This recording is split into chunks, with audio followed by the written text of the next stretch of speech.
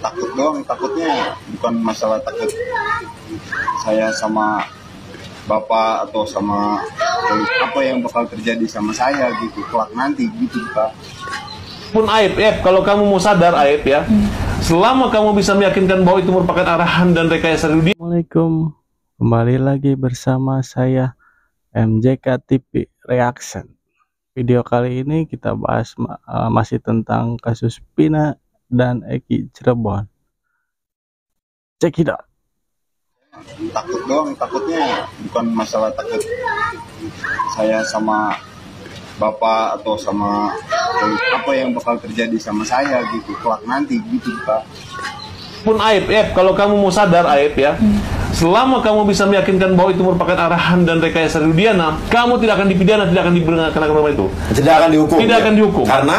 Karena dia disuruh jadi yang kalau emang ada kesaksian palsu yang diarahkan, Iya. yang bersalah adalah Rudiana yang menyuruh. bukan yang bersumpah palsu ini gitu. Tapi kalau dia masih ikut dan takut dan ternyata kita bisa membuktikan, ternyata bisa dibuka sendiri bukan mereka pelakunya, kemudian hakim membebaskan mereka, maka Ayep akan terbalik menjadi penjara menggantikan mereka-mereka. nah bener ya mending Ep jujur aja Ep tuh bener apa kata Mas Farhat Abbas ini mending jujur biar kayak eh, Dede gitu. Dede kan jujur kalau Aib jujur ini pasti masalah ini udah selesai mungkin ya. Coba kalau Aib eh, jujur lah atau eh, berbincang berbicara dengan Pak Dedi atau Kang Dedi itu Kang Dedi Mulyadi ya.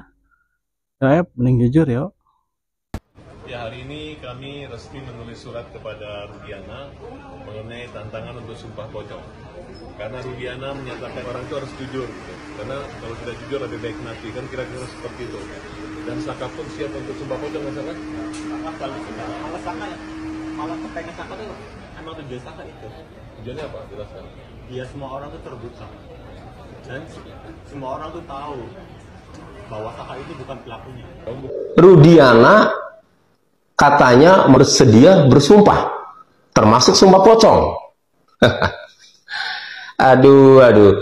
Pak Rudiana ketika ditanya Pak Hotman Paris terkait apakah benar yang meninggal itu adalah anaknya Pak Rudiana, Muhammad Rizky Rudiana atau Eki. Kemudian dijawab oleh Rudiana bahwa benar dan berani bersumpah, ya, bahkan termasuk sumpah pocong. Saya menilai ini strategi Rudiana untuk meyakinkan publik sumpah pocong itu. Jadi kalau eh, Rudiana mengatakan berani sumpah pocong, nanti kan publik menilai kan, wah ini sumpah pocong aja berani nih, kan Rudiana. Nah, video tadi kan eh, sebelumnya kan itu Pak Rudiana eh, katanya kan sumpah pocong pun saya mau ya sekarang kan ini ditantang nih sama acara atau Saka Tatal nih katanya kan Saka Tatal siap siap ayo. Eh, sumpah pocong katanya. Ya kira-kira gimana ini? Eh, pendapat Pak Rudiana gimana? Eh, apakah diterima atau wow, siap juga? Kita lanjut guys. Gembok saya dinumin air kecil. Satu gelas gede semuanya harus minum. Habis minum namanya ada namanya kenal saya orang dua itu pak. Namanya Aris Papua sama Gugun. Aris Papua sama Gugun. Itu paling kejam itu yang membalsem saya. Itu yang ngetrum saya pak. Itu orangnya Rudiana Akhirnya saya tuh masuk penjara itu sampai kayak di neraka pak. Saya udah ngerasain kayak di neraka satu. Bener-bener sampai nggak bisa pulang tuh bener-bener sama penjara itu jam setengah lima. Saya mau pulang aja keluar dari kali besok pak. Sampai saya jalan ke atas rumah itu ada yang nanya, maling apa itu? Orang pada ngomong itu maling. Walau saya bukan maling itu masih kecil pak bukan maling, bukan apa, tapi saya dulu maling. Akhirnya satu bulan dia baru bisa jalan, bisa makan. Ngeri ya. Ngeri kok ada gitu ya. Orang yang disuruh minum air kencing. Gimana gitu ya perasaannya? Di mana gitu hatinya ya? Kebayang gak sih guys? Kita minum air kencing itu gimana itu? Rasanya. Benar itu ya polisi. Ya semoga ini cepat lah cepat ter itu ya biar tersangkanya. Kalau emang benar ini salah tangkap ya semoga cepat cepat dibenarkan biar biar mereka bebas. Kasihan kan dia kan eh, seumur hidup ya. Ya. RT, tapi tolonglah jujur, saya sama ibu saya saksi mata ngelihat bahwa anak-anak itu tidur di rumah Pak anak Pak RT. Udah nggak usah uh, ditutup-tutupin lagi, percuma buat apa? Masyarakat semua juga tahu, tetangga-tetangga juga semua tahu kalau yang deket-deket rumah itu uh, anak Pak Pasren itu anak-anak pada nginep di situ.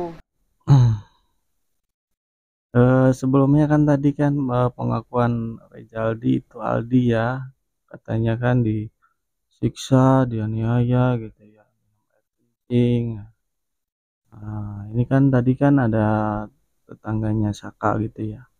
Minta Papa Sren jujur minta Kapi jujur biar bisa membebaskan mereka gitu ya. Mereka kan nggak salah. Ini kan katanya kan salah tangkap. Coba kasihan nggak? Masa teman dari kecil nggak kasihan gitu? Kok kalau sampai bohong ya Eh, menurut pengakuan Kapi dan Pasren dan Vina ini ditemukan meninggal dunia Pak Pasien.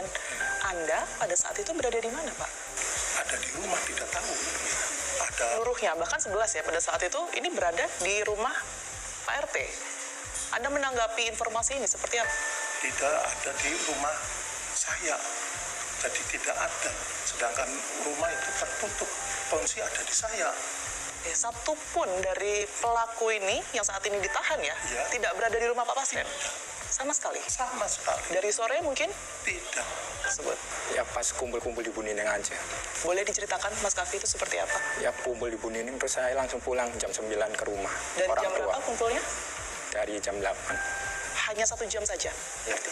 Kumpul-kumpul di Bu Nining ini aktivitasnya apa? Karena informasinya kan ada yang sempat minum minuman keras, bergitaran lah dan lain sebagainya di situ. Apa yang dilakukan?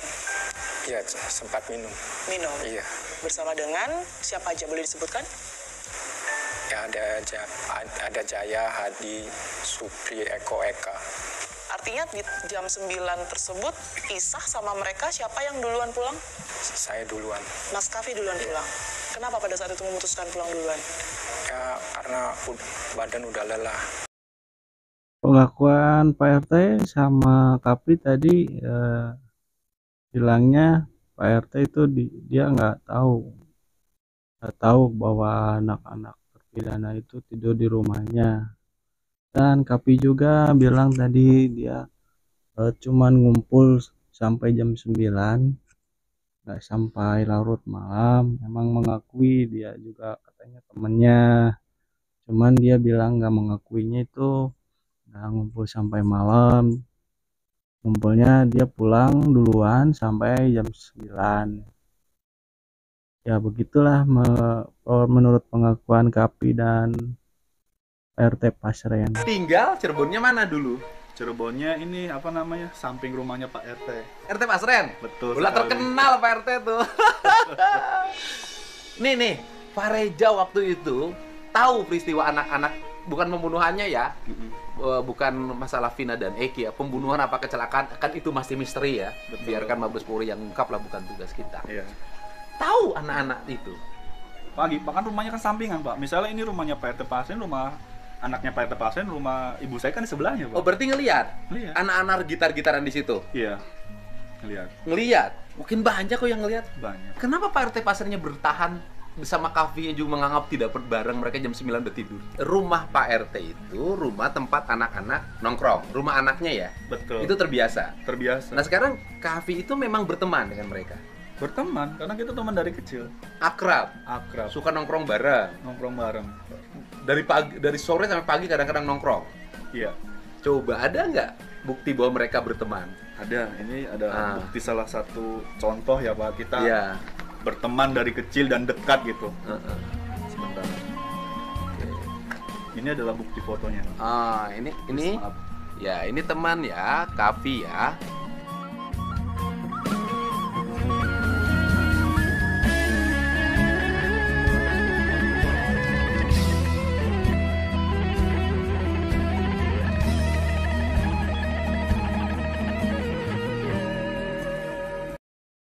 Menurut pengakuan Mas Reja, itu rumah Bu Nining sama Pak RT Pasren itu berdekatan, nggak jauh. Dan banyak eh, yang melihat atau saksi-saksi yang melihat bahwa Kapi itu kumpul-kumpul nggak sampai jam 9, malahan sampai malam. Malahan sampai tidur di rumah Pak RT menurut eh, keterangan-keterangan saksi-saksi yang banyak bilangnya begitu. Tapi kan Kapi sama Pak RT Pasien tetap tidak mengakuinya. Eh, dan ini Mas Reja juga membuktikan bahwa Kapi itu emang teman dekat dari kecil, ada bukti foto-fotonya tersebut. Ya, semoga aja dibukakan hatinya kalau emang Kapi dan Pak RT eh, bohong ya. Semoga Pak RT eh, sama Kapi ya jujur lah, jujur biar nggak itu ya biar cepet lah. Intinya biar cepet eh, clear ini masalah. Kasihan juga itu terpidana kan. Terpidana sampai seumur hidup loh. Ya semoga aja kalau Pak RT dan AF eh Kapi jujur ya mungkin eh, nggak sampai di penjara ya mudah-mudahan. Tapi ya kalau misalkan di penjara juga kan nggak terlalu berat mungkin ya. Ya begitu ya. Nah, teman-teman terima kasih yang sudah menonton video ini. Eh, dukung terus channel ini eh, agar bisa berkembang. Eh, dan terima kasih yang sudah menonton. Semoga sehat selalu panjang umur dimudahkan rezekinya. Amin